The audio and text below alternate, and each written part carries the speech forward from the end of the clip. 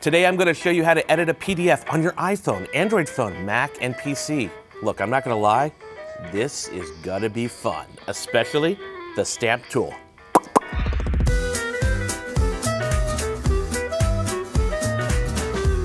There are definitely a few different ways to edit a PDF, but I'm gonna show you easy, fast, and free ways to add text, sign a document, or fill out a form right from your phone, or PC, or whatever, Mac. You get the idea. Hey, for more advanced edits on the PDF, you're gonna have to spend money on an app, but we're not here to spend money. We're here to edit a PDF for free! So enough of my jibber jabber. Let me show you how to edit your portable document format files. You know, PDFs. Anyway, let's start with the Mac. So on your Mac, you don't need to download an app like Adobe Acrobat Reader or, well, any other app, especially for simple edits, because Apple makes a program called Preview, and it's on every Mac. To edit, double click on your PDF file, and it should automatically open in Preview. If for some reason this doesn't happen, open up your Applications folder and open Preview. It's the app that has the picture of the uh, postcard and the loupe from there, you'll be greeted with a window asking you to select a file. Once you're ready, click the blue Open button and you're back in the game. To access the toolbar, click on the markup tool on the top right side next to the search field. To add text, click on the text tool. It's the one that looks like a uh, letter T inside a square prison. Let me out, I'm a T, I'm a T. What did I ever do to S, or U, or V? Then a text box will appear on your document.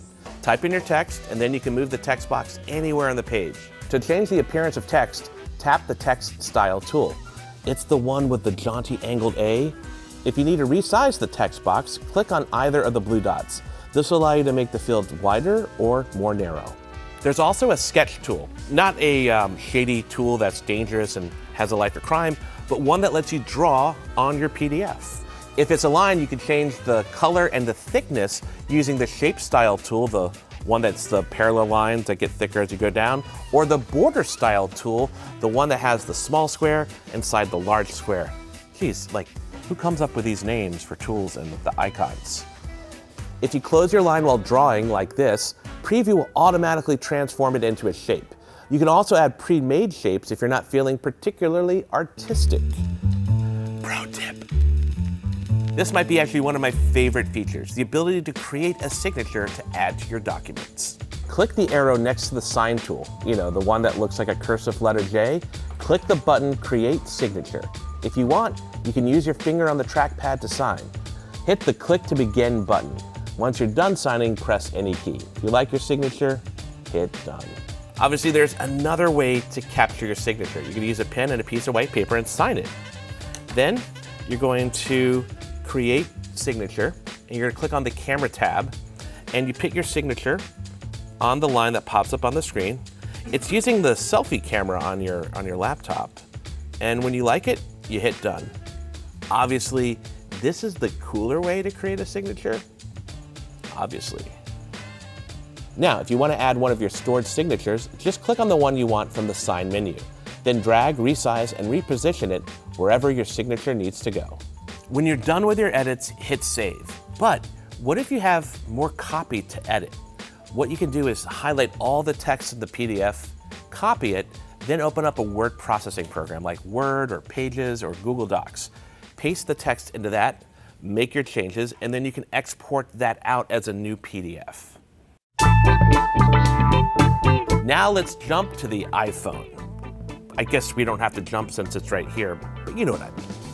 Just like the Mac, you do not need a special app to do basic edits in a PDF, because on the iPhone, there is something called markup mode. So I'm gonna open up a PDF from an email. When I tap on the markup tool, I'm greeted across the bottom of my phone by different tools for highlights, pen drawing, pencil drawing, and eraser tool.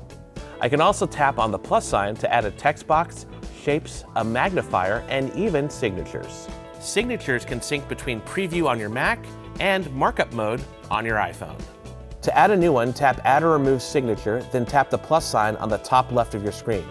Use your finger to sign the line and hit Done to save. Wah, wah, wah, Pro tip. So you can use the undo arrows to move forward or backwards through your edits. When I'm done with my edits, I can reply with my updated PDF or put it inside a new message. Now let's move on to Android phones. Now, unlike Mac and iPhone, there's not a system-wide Android PDF editor.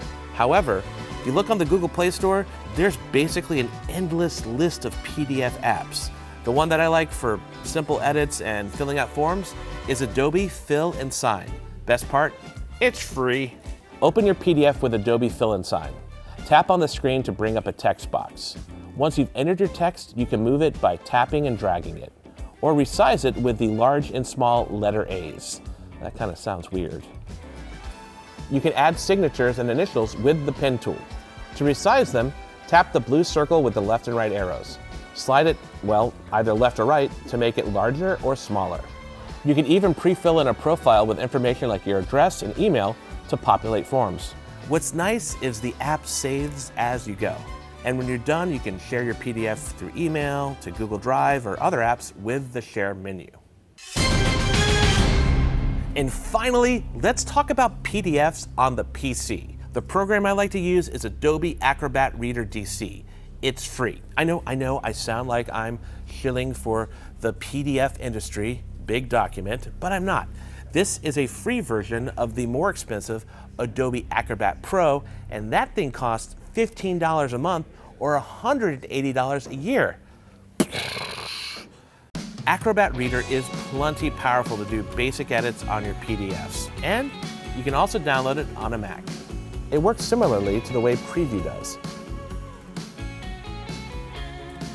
When you're done, you can save your PDF or export it into a different file format like a Word doc.